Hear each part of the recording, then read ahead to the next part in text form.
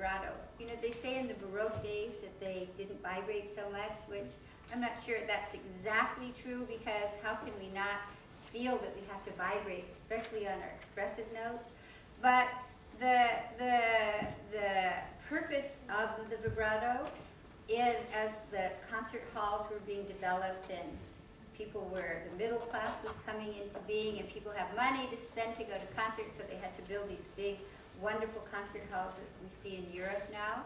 Um, in order for the sound of the instrument, which was changing because the neck was getting longer and steel strings were being made, in order for that sound to project to the back of the hall, we had to vibrate.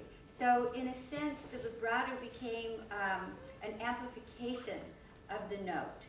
So uh, to keep that, just keep that in mind as you vibrate because you want to send, you want to send that beautiful tone out into the audience. Okay, so.